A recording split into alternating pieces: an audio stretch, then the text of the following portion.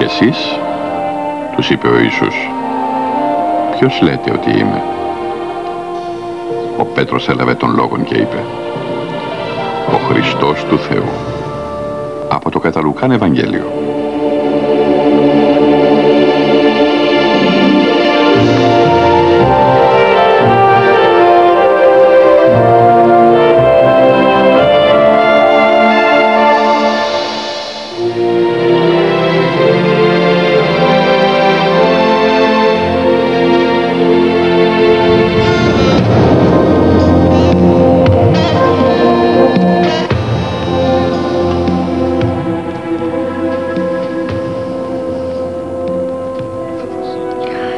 Πριν δύο χιλιάδες χρόνια ένας νέος άνδρας ονόματι Ιησούς εμφανίστηκε από την έρημο της Ιουδαίας.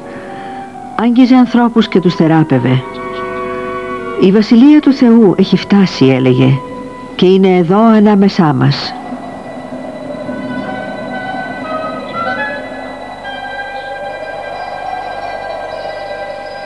Ποιος είναι αυτός ρωτούσαν και από πού ήρθε; Είναι προφήτης ή μάγος επαναστάτης που θα γίνει βασιλιάς ο Μεσσίας ο σταλμένος από το Θεό ή κάποιος ακόμα απατεώνας Ο θάνατος του Ιησού πάνω στο Σταυρό θα ένεπνε μια νέα θρησκεία που ονομάστηκε Χριστιανισμός. Αλλά το ερώτημα παραμένει ανά τους αιώνες. Ποιος ήταν ο μυστηριώδης ξένος που περπάτησε στους δρόμους της Γαλιλαίας; Κατά την αναζήτηση ιστορικών τεκμηρίων για τα έργα και τις ημέρες του Ιησού, πολλοί συντηρητικοί μελετητές και θεολόγοι δεν βλέπουν το λόγο να αμφισβητήσουν την ιστορική ακρίβεια του Ιησού όπως απεικονίζεται στα Ευαγγέλια. Ενώ άλλοι προτείνουν εντυπωσιακές νέες όψεις του Ιησού. Σαν προφήτη της Αποκάλυψης, θεραπευτεί μέσω της πίστης κοινωνικού επαναστάτη. Χρησιμοποιώντας τα τελευταία μέσα της βιβλικής ανάλυσης και αρχαιολογίας στην έρευνά τους, οι λόγοι ελπίζουν να φτάσουν σε βαθύτερη κατανόηση των λόγων και των έργων του Ιησού της Ναζαρέτ. Απογυμνώνοντας τον Ιησού της πίστης από το μυστήριο που τον περιβάλλει, ανακαλύπτουν μια εξίσου αξιοπρόσεκτη μορφή, τον άνθρωπο Ιησού. Think that Jesus of Nazareth probably did work miracles.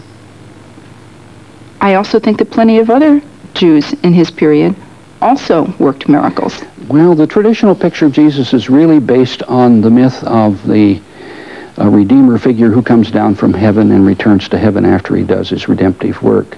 If you could show that Jesus of Nazareth never existed, or that he never rose from the dead, Christianity is destroyed because its claims about the nature of God is that this God has actually disclosed himself in real history, in real events which are recorded in the Bible, and supremely in his son, Jesus of Nazareth.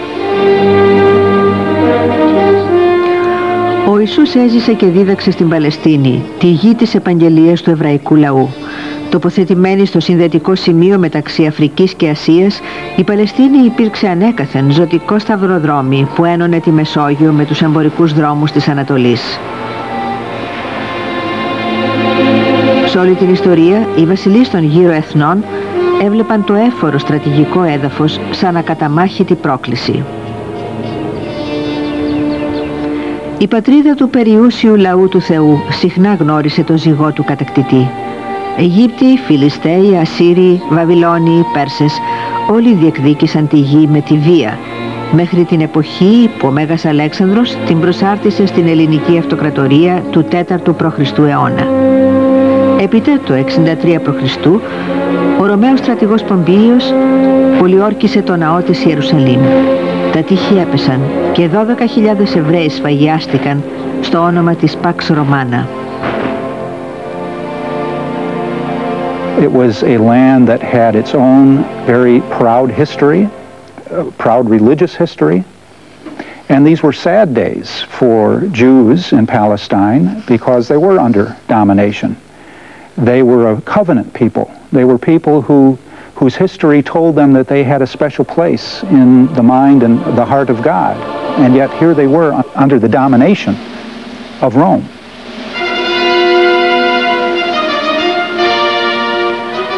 Οι Ρωμαίοι διόρισαν τον Ηρώδητο Μέγα σαν βασιλέα αντιπρόσωπό τους. Στα 36 χρόνια της βασιλείας του δεν περνούσε μέρα που να μην καταδικαστεί κάποιος σε θάνατο. Ο μισητός τύρανος πέθανε το τέρον την πατρίδα τους και θα επανέφερε στο έθνος τη δόξα του Δαβίδ. There was a widespread expectation in first century Judaism that God would reveal himself in some way through some kind of Messiah, hero, king at the end of the age. And it had various forms. I think there were some who looked not for a messianic figure, but simply for a political figure to come and establish Israel once again as it uh, should be. I think there were many who thought that real leadership in Israel should focus on the priestly aristocracy, a priestly form of governance. Τα κείμενα πολυάριθμων αρχαίων ιστορικών και ιδίως του Ιουδαίου Ιώσιπου βοήθησαν τους λόγιους να συνθέσουν μια ζωντανή εικόνα της Παλαιστίνης του πρώτου αιώνα. Τα Ευαγγέλια παρέχουν τη μόνη λεπτομεριακή πληροφόρηση για τη ζωή του Ιησού, αλλά δεν αναφέρουν τίποτα σχεδόν για την νεότητά του. Οι γονείς του Μαρία και Ιωσήφ ίσως είχαν και άλλα παιδιά. Το Ευαγγέλιο του Μάρκου αναφέρει αδερφούς και αδερφές. Ο Ιωσήφ ήταν ξυλουργός και ο Ιησούς θα έμαθε από εκείνον την οικογενειακή τέχνη. Ασφαλώς η εκπαίδευσή του στη συναγωγή, όπως των περισσότερων Εβραιόπουλων, θα είχε δυνατή επίδραση επάνω του. He would have had some education in the oral traditions of Judaism, how to interpret and apply the law, Torah, to oneself and one's circumstances. He, I think, undoubtedly had uh, some training in reading and interpreting Scripture, the Hebrew Bible. Καθώς μεγάλωνε ο Ιησούς άραγε μοιραζόταν τις προσδοκίες άλλων Εβραίων ότι ο Θεός θα προκαλούσε κάτι σημαντικό. Στη Γαλιλαία υπήρχε η διάδοση για ένα νέο προφήτη που ζούσε στην έρημο με ακρίδες και μέλι. Το όνομά του ήταν Ιωάννης ο Βαπτιστής. Κύρισε με τη ζέση παλιών προφητών για τη βασιλεία του ουρανού και έναν άνθρωπο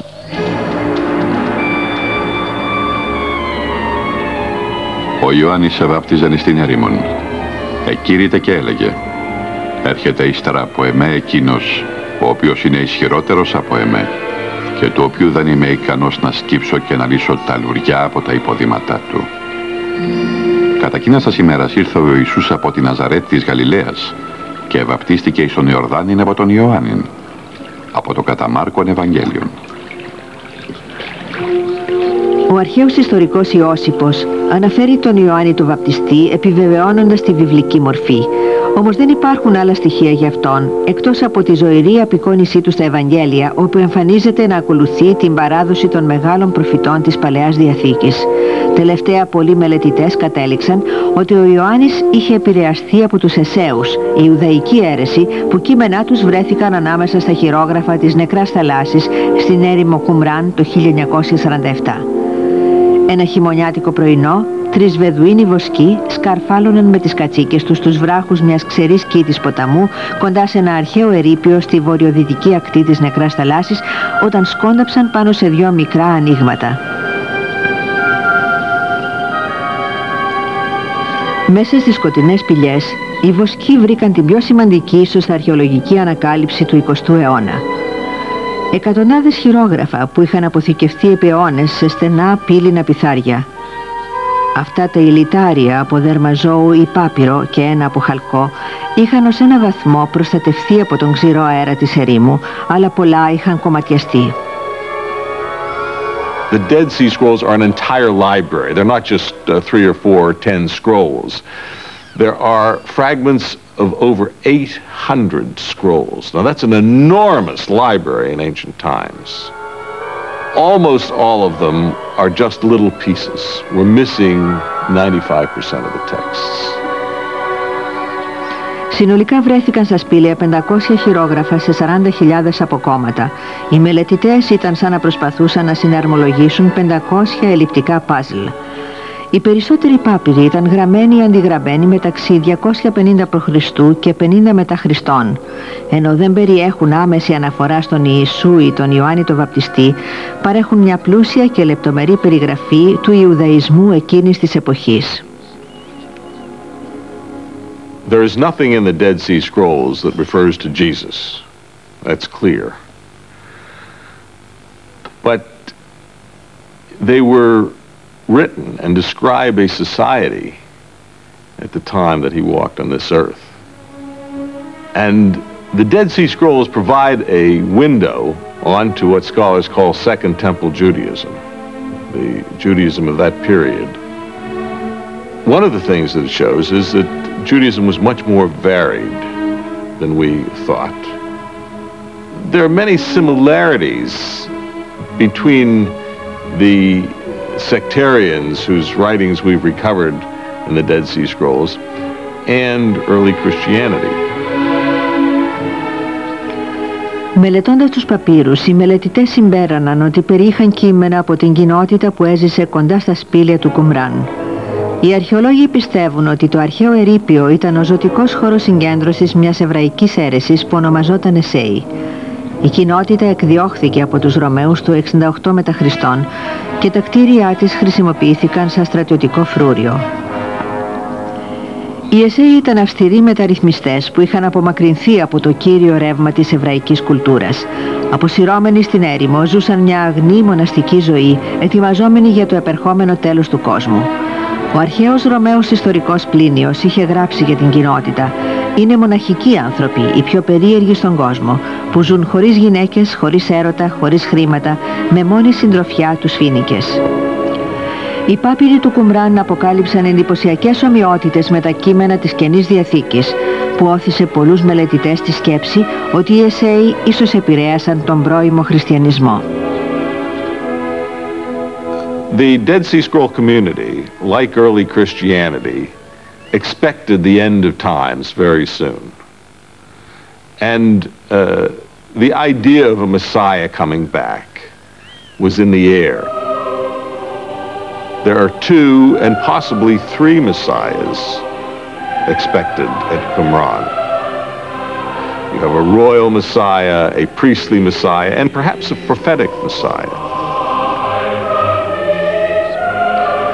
Ένα εντυπωσιακό χαρακτηριστικό των παπύρων του Κουμράν είναι η αναφορά τους σε δύο υποσχεθέντες μεσίες. Αυτό πρόσθεσε άλλο ένα στοιχείο στις παραδοσιακές εβραϊκές προσδοκίες για το Μεσσία.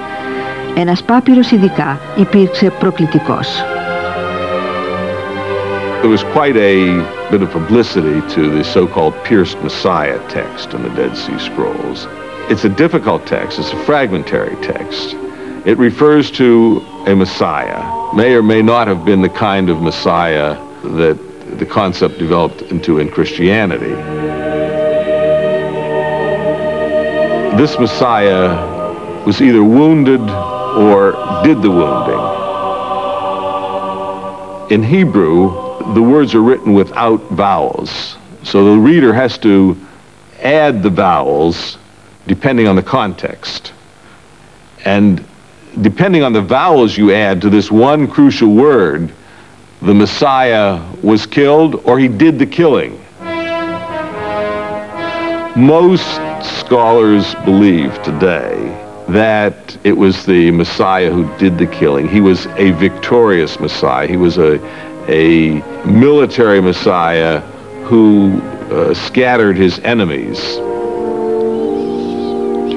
Αν και οι περισσότεροι μελετητές δεν βλέπουν άμεση σύνδεση μεταξύ Εσέων και Ιησού, βρίσκουν πολλές ομοιότητες μεταξύ του δόγματος και των πρακτικών της αίρεσης και αυτών του Ιωάννη του Βαπτιστή. Σαν αυτούς ο Ιωάννης είχε απομονωθεί στην έρημο και πίστευε στην Αποκάλυψη. Ίσως επίσης υιοθέτησε από τους Εσέους την μοίηση μέσω της βαπτίσεως. Ίσως υπήρξε μέλος της κοινότητας και κατόπιν αποσπάστηκε για να κηρύξει μόνος του αν και διαφέρουν σε λεπτομέρειες, οι αναφορές και των τεσσάρων Ευαγγελίων στη βίβλο τονίζουν ότι ο Ιησούς βαπτίστηκε από τον Ιωάννη. Στα Ευαγγέλια των Ματθαίου και Ιωάννη, ο βαπτιστής κάποια στιγμή αναγνωρίζει ότι ο Ιησούς είναι αυτός του οποίου τον ερχομό ανήγγειλε. Στο Ευαγγέλιο του Λουκά, ο Ιωάννης και ο Ιησούς είναι δεύτερα ξαδέρφια.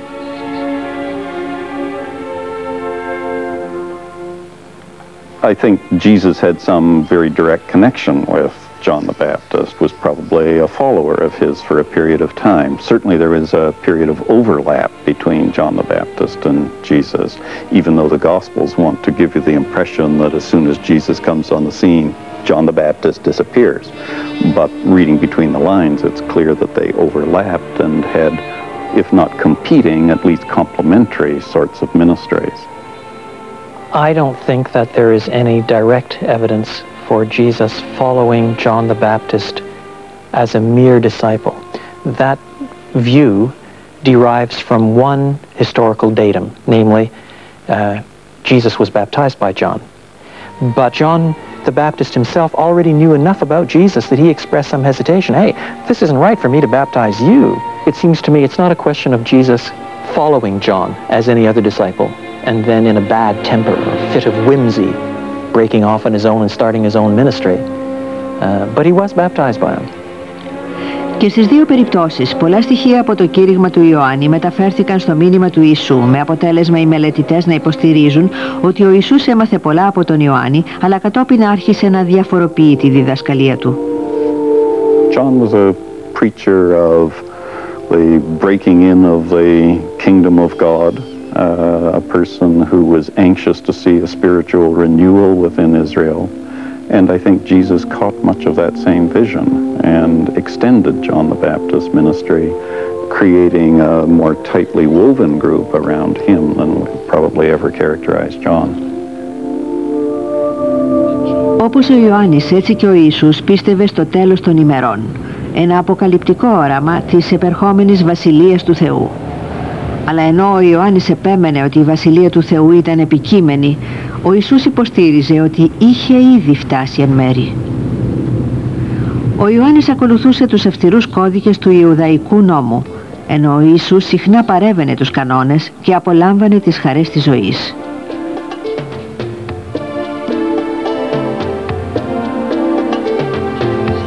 Ο Ιωάννης απομακρύνθηκε από την κοινωνία και κήρυξε ένα αυστηρό μήνυμα μεταμέλειας και κρίσης. Ο Ιησούς διέσχιζε τη χώρα με τη χαρμόσυνη είδηση ότι η Βασιλεία του Θεού ήταν για τον καθένα.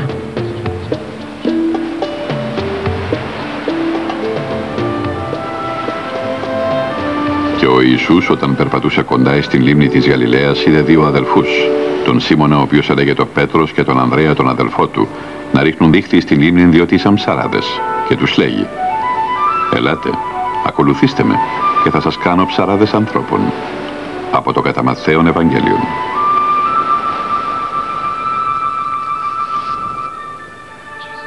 Η θητεία του Ιησού ήταν σύντομη. Άρχισε να διδάσκει στα 30 του χρόνια.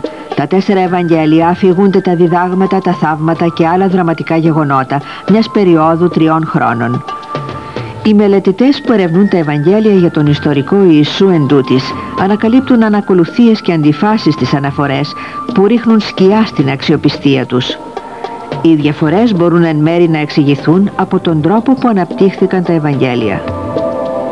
Αφού πέθανε ο Ιησούς, οι οπαδοί του συνέχισαν τη διδασκαλία του, επαναλαμβάνοντας τα λόγια του και διηγούμενοι ιστορίες που είχαν ακούσει για τα κατορθώματά του.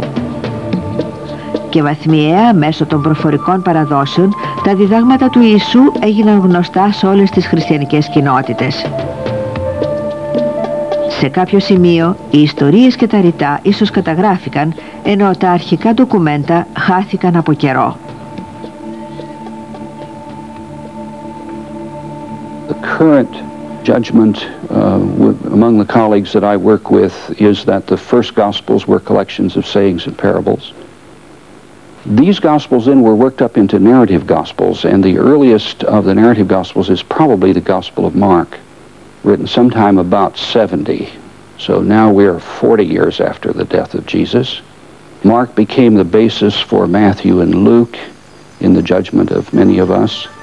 Those Gospels were written towards the end of the first century, sometime between 80 and 100. The Gospel of John represents an independent tradition. Υπάρχουν στοιχεία που δηλώνουν ότι οι Ευαγγελιστές χρησιμοποίησαν κοινές πηγές, αλλά ο καθένας συνέραψε το υλικό του διαφορετικά για να ανταποκριθεί στις ειδικές ανάγκες του ακροατηρίου του, που ήταν ασφαλώς οι πρώτες χριστιανικές κοινότητες. Η λιτή ομή γλώσσα του Μάρκου δείχνει σε μερικούς ότι το Ευαγγέλιο αυτό είναι πλησιέστερο στην αρχική μορφή των προφορικών παραδόσεων. Στο Ευαγγέλιο του Ματθαίου ο Ιησούς παρουσιάζεται σε εβραϊκό πλαίσιο που δηλώνει ότι ο Ματθαίος ηγείται μιας εκκλησίας Εβραίων χριστιανών.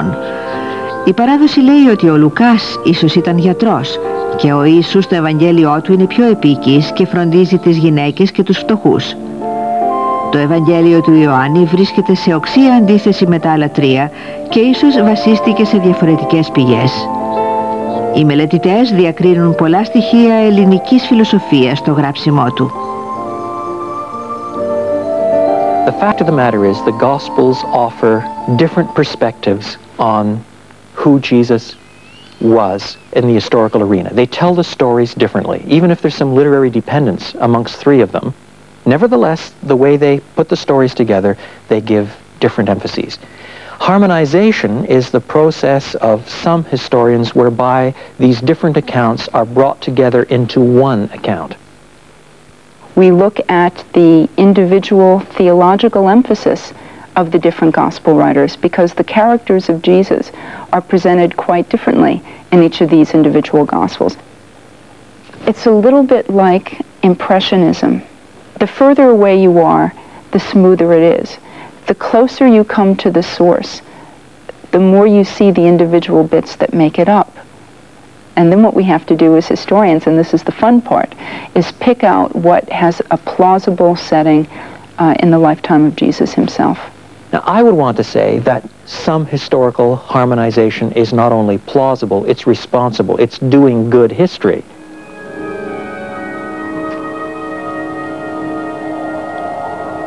Και όταν ο Ιησούς ετελείωσε τα σενολάσει στους 12 μαθητές του, έφυγε από εκεί για να διδάξει και να κηρύξει στα σπόλιστον. Ο Ιωάννης όταν άκουσε στην φυλακίνδια τα έργα του Χριστού, έστειλε δυο από τους μαθητές του και του είπε «Συ είσαι εκείνος ο οποίος πρόκειται να έρθει ή πρέπει να περιμένουμε άλλον» από το κατά Ματθαίον Ευαγγέλιον. Πίστευε άραγε ο Ιησούς ότι ήταν ο Μεσσίας της εβραϊκής προφητείας Οι Ευαγγελιστές σαφώς το υπενήσονται και πολλοί μελετητές δεν το αμφισβητούν. If you ask when Jesus recognized himself to be God's promised Messiah as a human being, the short answer is, I don't know. The texts don't tell us. What is clear is that by the time he engages in his ministry, in his public ministry, he does so even from the earliest days, knowing that his ministry is strategic and that as the Messiah, he's going to be a different Messiah from what is expected. Άλλοι υποστηρίζουν ότι οι Ευαγγελιστές έδιναν τόση έμφαση στις ιστορίες τους επειδή είχαν καταλήξει να αντιλαμβάνονται την αληθινή σημασία του Ιησού. Η πεποίθηση ότι ο Ιησούς ήταν ο Μεσσίας εμφανίστηκε στα πρώτα χριστιανικά κείμενα και ρίζωσε γρήγορα στους οπαδούς του. Αλλά στην προσπάθεια να διαχωρίσουν τη θεολογία των Ευαγγελιστών από τις πηγές τους, πολλοί μελετητές της βίβλου συμπέραναν ότι ο ιστορικός Ιησούς ποτέ δεν διεκδίκησε τον τίτλο.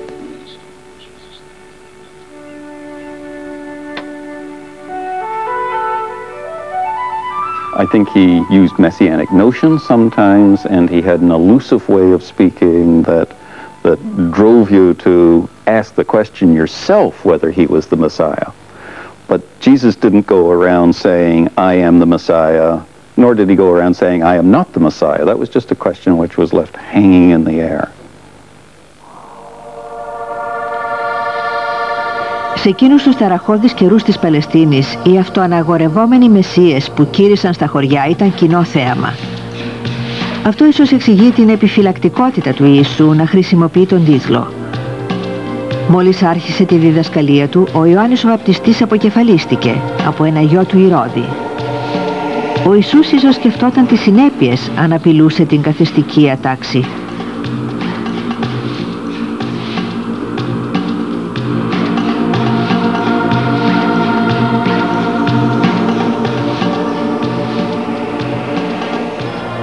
Χρόνος έχει συμπληρωθεί και πλησίασε η Βασιλεία του Θεού. Από το Καταμάρκον Ευαγγέλιο. Μέσα στους αιώνες ξένης κυριαρχίας, ο εβραϊκός λαός στηριζόταν στην πεποίθηση ότι ο Θεός θα δημιουργούσε ένα νέο βασίλειο για τον περιούσιο λαό του, αποκαθιστώντας το Ισραήλ τη δόξα που είχε γνωρίσει επί Δαβίδ. Για ορισμένους αυτό σήμαινε πολιτική ανεξαρτησία, για άλλους μια αποκαλυπτική μέρα κρίσης και δικαιοσύνης. Η Βασιλεία του Θεού εξέλαβε μεταφορική έννοια με διαφορετική σημασία για τους διάφορους λαούς. Ο ίδιος ο Ιησούς ποτέ δεν καθόρισε επακριβώς τη Βασιλεία του Θεού, αλλά συχνά χρησιμοποίησε μύθους και συμβολισμούς για να τη χαρακτηρίζει. The kingdom of God, as both John and, and Jesus uh, used the term, I think, uh, indicated uh, a group of people who are going to hew their lives as closely as possible to the demands of Torah and to the nature of God as they understood it. it meant deeply ethical kind of life, a, a life concerned for other people, a life concerned for justice and, and equality. Ενώ ο Ιωάννης ο Βαπτιστής κήρυξε την αυστηρή μεταρρύθμιση του Ιουδαϊσμού, το μήνυμα του Ιησού έφυγε την περιοχή του Εβραϊκού νόμου. Συχνά κατηγόρησε τους Φαρισαίους για υποκρισία. Αυτοί οι θρησκευτικοί ηγέτες ακολουθούσαν επίμονα το γράμμα του νόμου χωρίς να αντιλαμβάνονται το πνεύμα του. Οι Φαρισαίοι εξάλλου αποκαλούσαν τον Ιησού μέθησο και λέμαργο που συναναστρεφόταν αμαρτωλούς. Τον κατηγορούσαν ότι παραβίαζε το Σάββατο για να θεραπεύει ασθενείς.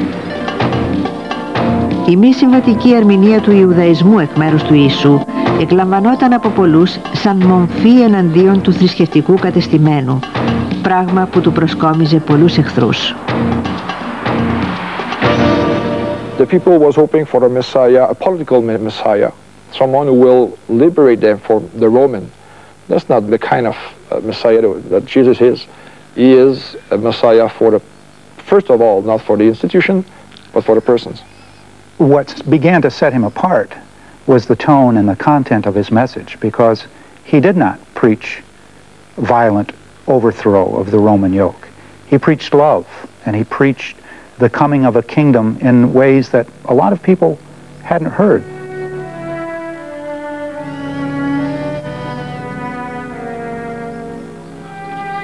Μετά το θάνατο του Ιησού, η πρώτη εκκλησία αποτελείται κυρίως από Εβραίους που συνέχισαν να τηρούν τους ευρωπαϊκούς νόμους και τα έθιμα Αλλά καθώς το κίνημα εξαπλωνόταν, οι μη Εβραίοι υπερέβαιναν τους Εβραίους χριστιανούς.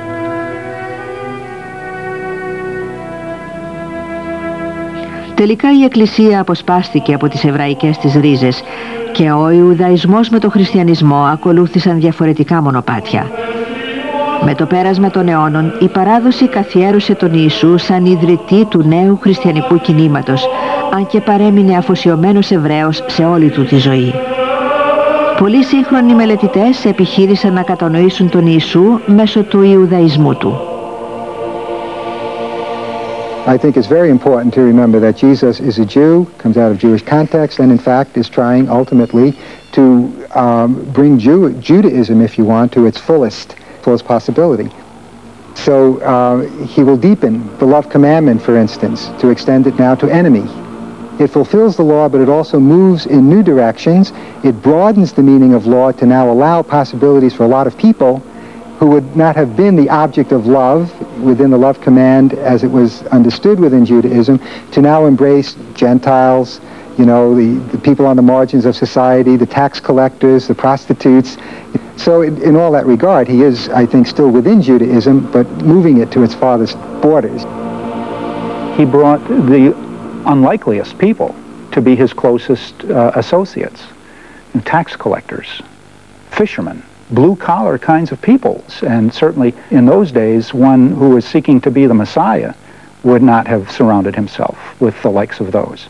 And yet these are the people who, who he selected because he was preaching the kingdom of God that would be for every man, not just the religious elites, but for every man. Η πολιτική της ανοιχτής αγκάλης ήταν άλλη μια πρόκληση για την Ορθοδοξία των Φαρισαίων. Πολλοί από τους δυστυχείς που ακολουθούσαν τον Ιησού δεν είχαν ποτέ δεχτεί ένα χέρι από την κοινωνία. Όμως και πλούσιοι και ευυπόλοιπτοι συγκαταλέγονταν ανάμεσα στο πίμνιό του, όπως και πολλές γυναίκες. Οι μελετητές έχουν γοητευτεί από μια πληροφορία στο Ευαγγέλιο του Λουκά για μαθήτρες του Ιησού που του παρήχαν οικονομική υποστήριξη. Η ισότιμη μεταχείριση των γυναικών οπαδών του ανακηρύσει τον Ιησού σε πρώτο φεμινιστή.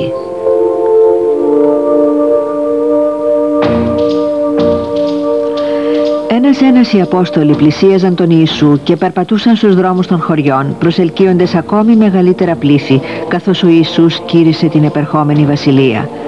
Κάποιοι ίσως θεωρούσαν τον Ιησού νέο προφήτης στα ίχνη του Ιωάννου του Βαπτιστού, άλλοι τον πίστευαν για Μεσσία, μερικοί τον αποκαλούσαν ακόμη και Ραβίνο. Και εξεπλάγησαν με το δόγμα του, διότι δίδασκε σαν κάποιος που είχε δικαιοδοσία και όχι όπως οι γραμματείς από το κατά Μάρκον Ευαγγέλιο.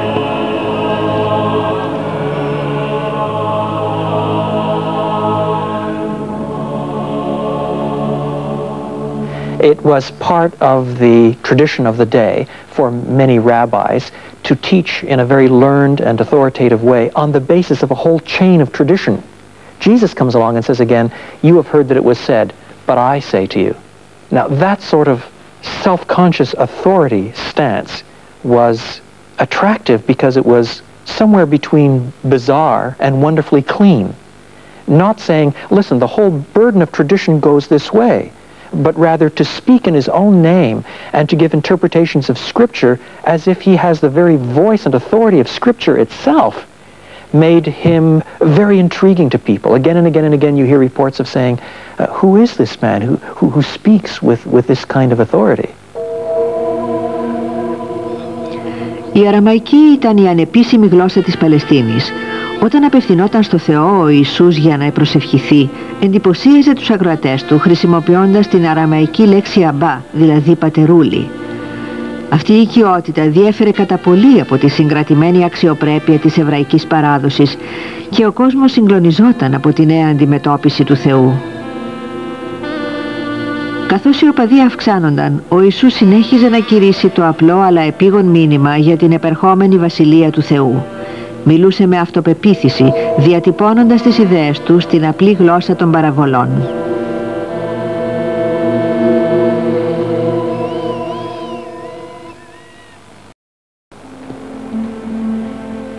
Κατά εκείνη την ημέρα ευγήκε ο Ιησούς από το σπίτι και καθόταν κοντά στην θάλασσα και μαζεύτηκε γύρω του κόσμος πολλής και τους εμίλησε δια πολλά πράγματα σε παραβολές από το κατά Μαθαίον Ευαγγέλιον.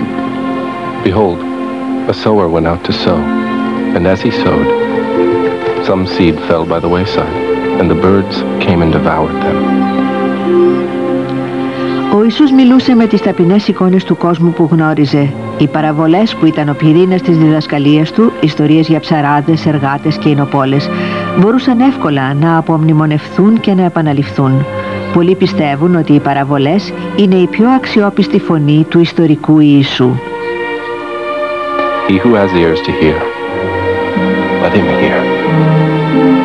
If we look at, at the development of the narrative gospels, probably the earliest parts of that tradition, the little short stories or anecdotes we might call them that circulated in the oral period were stories that climaxed in some saying that Jesus spoke or some parable that he spoke.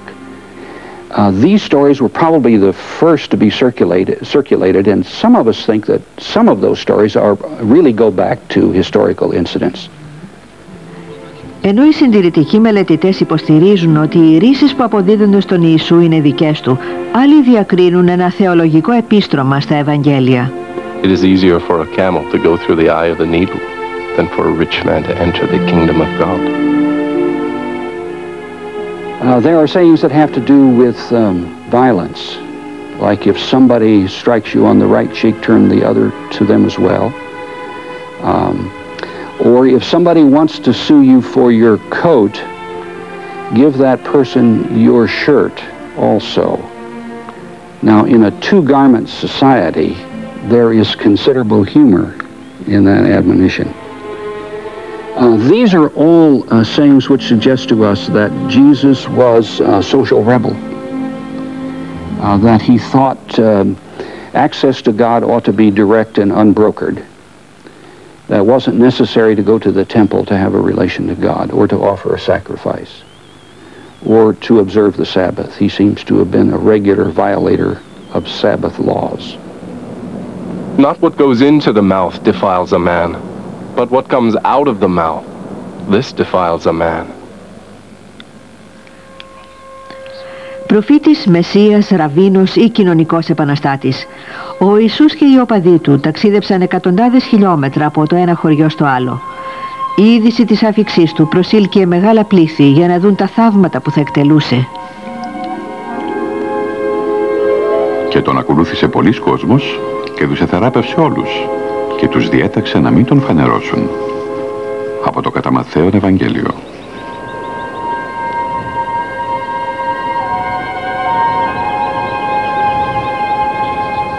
Ο Ιησούς ήταν ένας πολύ απρόθυμος θαυματοποιός. Συνεχώς στα Ευαγγέλια ζητά τη μυστικότητα από τους παρευρισκόμενους στα κατορθώματά του.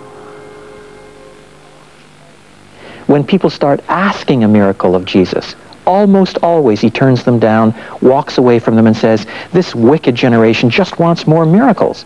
And the reason again is because they want a, a Messiah who's a good magician. He can do these things because of who he is. But at the same time, although those things elicit faith, they can easily get transmuted into a love of this spectacular instead of, of God as he really is.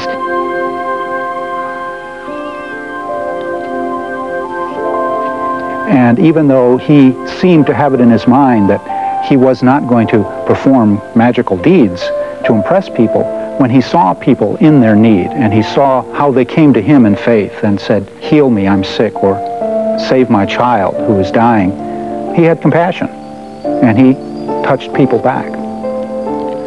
Αν και οι σύγχρονοι ερευνητές δεν μπορούν να αποδείξουν ότι ο Ιησούς έκανε θαύματα, σημαντική προσοχή δόθηκε στη μελέτη των Ευαγγελίων.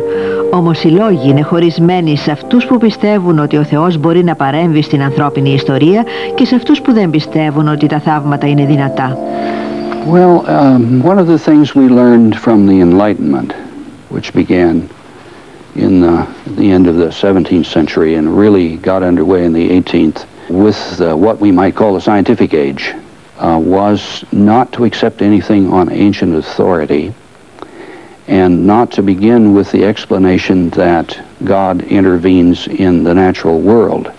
If, on the other hand, one is at least open in that area, then one will try to apply uh, objective historical criteria, see what kind of witnesses were involved, what kind of uh, effect it had on their lives, what they were willing to live and die for, what kind of evidence, uh, sustaining evidence uh, can be presented. Ένα θαύμα σήμερα ορίζεται σαν γεγονός που δεν εξηγείται από τους φυσικούς νόμους. Οι σύγχρονες κοινωνίες σπάνια συναντούν φαινόμενα που δεν επιδέχονται ερμηνεία. Όμως στην αρχαία Παλαιστίνη τα θαύματα όχι μόνο είχαν ευρύτερη έννοια, αλλά συνέβαιναν και συχνά. Πολλοί μελετητές παραδέχονται ότι στα θαύματα οφειλόταν εμπολής η δημοτικότητα του Ιησού, αλλά οι θαυματοποιοί δεν ήταν σπάνιοι εκείνη την εποχή.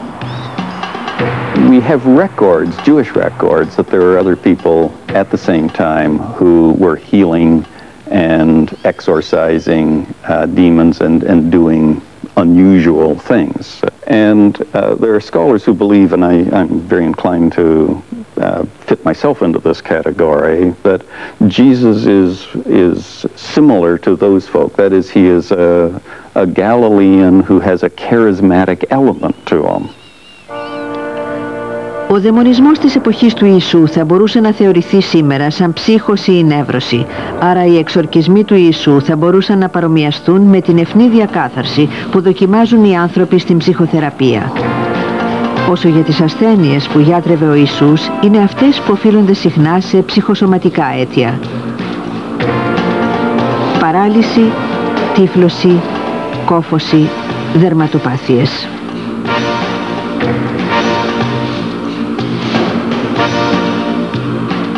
If, if the basis for them is psychosomatic, uh, then it is quite plausible that Jesus was able to cure such people, that uh, he fell into the category that anthropologists would call faith healers. That is, he was so uh, filled with the Spirit, was so open in his relation to people, that when they came into his presence, um, things happened to them. Στα Ευαγγέλια ακόμη και οι εχθροί του Ιησού παραδέχονται ότι εκτέλεσε θαύματα. Οπωσδήποτε υποστηρίζουν ότι ο Ιησούς ήταν μάγος που υπηρετούσε το έργο του σατανά. Τέτοιες μαρτυρίες ενισχύουν επιπλέον την άποψη πολλών μελετητών ότι ο ιστορικός Ιησούς πράγματι θεράπευε ανθρώπους και εκτελούσε εξορκισμούς. Τα θαύματα στη φύση. Ο Ιησούς που περπατά πάνω στη θάλασσα. Ο χορτασμός των 5.000.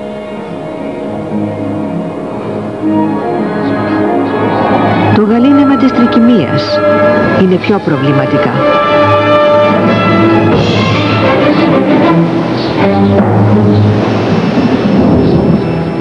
Κάποιοι μελετητές πιστεύουν ότι είναι προσθήκες από τους Ευαγγελιστές για παραλληλισμό του Ιησού με μορφές της Παλαιάς Διαθήκης. Σαν τον Μωυσή που χώρισε την Ερυθρά θάλασσα, ο Ιησούς ηρέμησε την τρικυμία. Ο προφήτης Ελισέος ανέστησε νεκρούς και τάισε πλήθη όπως και ο Ιησούς. Αλλά ο συμβολισμός προχωρεί πέραν της Παλαιάς Διαθήκης. Ορισμένοι θεωρούν το θαύμα με τα ψωμιά και τα ψάρια σαν συμβολική μαρτυρία του πώς ο Ιησούς τρέφει τους πιστούς του.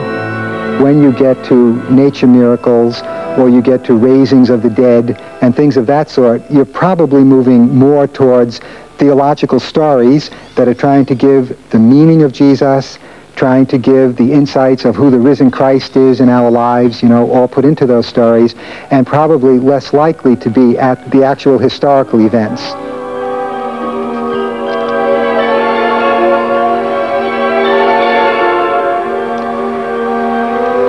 Εσήκουσαν τότε τον λίθον όπου ευρίσκεται ο νεκρός.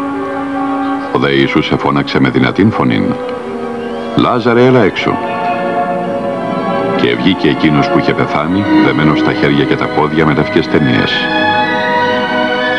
Τους είπε τότε ο Ιησούς. Λύστε τον και αφήστε τον να φύγει. Από το κατά Ιωάννην Ευαγγέλιον. Από όλα τα θαύματα που εκτελεί ο Ιησούς, το πιο εντυπωσιακό είναι η Ανάσταση του Λαζάρου. Ο Λάζαρος ήταν νεκρός πριν από μέρες και το πτώμα είχε ήδη αρχίσει να αποσυντίθεται. Κι όμως, επειδή το περιστατικό εμφανίζεται μόνο στο Ευαγγέλιο του Ιωάννου, κάποιοι διερωτώνται αν πραγματικά συνέβη. Άλλοι βλέπουν εδώ μια προκλητική μαρτυρία ενός ιστορικού γεγονότος. raising of Lazarus is, is a most fascinating episode, and of course we have to question whether or not it happened. All I can do as an ancient historian is not to say yes or no, but to examine the surrounding evidence. What's the fallout? When Bethany was destroyed, when Titus conquered Jerusalem and the place was rebuilt, they renamed the town. It's called El Lazaria to the present day by the Arabs who live there. Now that I find fascinating. Why would they have changed the name of a town? That's something you would never change unless something spectacular of some kind must have happened there. Αυτοί που αμφισβητούν την ιστορική ακρίβεια του γεγονότος βλέπουν ένα περίτεχνο θεολογικό και λογοτεχνικό σχέδιο να ξετυλίγεται στο Ευαγγέλιο του Ιωάννου. Από όλους τους Ευαγγελιστές αυτός αναφέρει το λιγότερο αριθμό θαυμάτων, μόνον 7 και τα ονομάζει σημεία. Αλλά το καθένα οικοδομείται θεματικά πάνω στο προηγούμενο, προσφέροντας προσεγγίσεις στην υπόσταση του Ιησού. Η Ανάσταση του Λαζάρου, το 7ο σημείο, είναι η συσσωρευμένη επίγνωση που προϊονίζει την Ανάσταση του ίδιου του Ιησού. Μέχρι την εποχή που ο Ιησούς με τους μαθητές του αρχίζει το ταξίδι στην Ιερουσαλήμ για το Πάσχα των Ιουδαίων, έχει μαζέψει πολλούς αφοσιωμένους οπαδούς. Καθώς εισέρχονται στην πόλη για τη γιορτή που παραδοσιακά θεωρείται η στιγμή που θα εμφανιστεί ο Μεσσίας, ο Ιησούς ανακαλύπτει ότι η φήμη του προηγείται από αυτόν. Και οι περισσότεροι άνθρωποι έστρωναν τα ενδύματά τους εις των δρόμων. Άλλοι δέκοβαν κλάδους από τα δέντρα και τους έστρωναν εις των δρόμων. Ο δε κόσμος που επήγαινε μπροστά και ακολουθούσε εφώναζε «Οσανά εις τον Υιόν του Δαβίδ, ευλογημένος σας είναι εκείνος που έρχεται εις το όνομα του Κυρίου» από το καταμαθαίον Ευαγγέλιο. Στη θριαμβευτική υποδοχή υπήρχαν πολλοί που πίστευαν ότι ο Ιησούς ήταν ο Μεσσίας. Κάποιοι άλλοι στην Ιερουσαλήμ τον έβλεπαν με δυσπιστία. Είναι μάγος έλεγαν. Είναι επαναστάτης που ήρθε να ανατρέψει τους Ρωμαίους. Μέσα σε λίγες μέρες τα πλήθη που είχαν επεφημίσει τον Ιησού θα υψώσουν τις κραυγές τους για σταύρωση. Τα Ευαγγέλια κατόπιν αναλύουν ζωντανά λεπτό προς λεπτό Πώς ένας άνθρωπος που εκλήφθηκε από πολλούς σαν σωτήρας του Ισραήλ θεωρήθηκε θρησκευτική και πολιτική απειλή για το έθνος. Η αλυσίδα των γεγονότων που ξεκίνησε με την άφηξη του Ιησού στην Ιερουσαλήμ θα τελείωνε με την πιο ατιμωτική εκτέλεση στην ιστορία. Αλλά ο θάνατος του Ιησού και η πίστη στην Ανάστασή του προκάλεσαν πάθος στους μαθητές του που άφοβα συνέχισαν τη διδασκαλία του και οικοδόμησαν γύρω τους μια εκκλησία. Η γρήγορη εξάπλωση του χριστιανισμού δικαίωσε την πεποίθησή τους για το θεϊκό προορισμό του Ιησού. Κι όμως, τον καιρό που έζησε, οι μαθητές του συγκεντρώθηκαν για την απλή σοφία της διδασκαλίας του σχετικά με την πίστη και τη συγχώρεση. Αυτό που τους άγγιξε αρχικά ήταν η ακαταμάχητη ανθρωπιά εκείνου που γνώρισαν και αγάπησαν, του ανθρώπου Ιησού.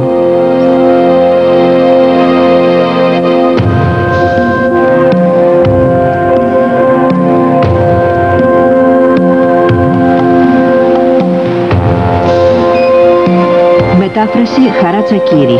Αφήγηση Χαράτσα Κύρι Παύλος Μιλιώνης. Μίξη ήχου Βαγγέλης Πατέλης.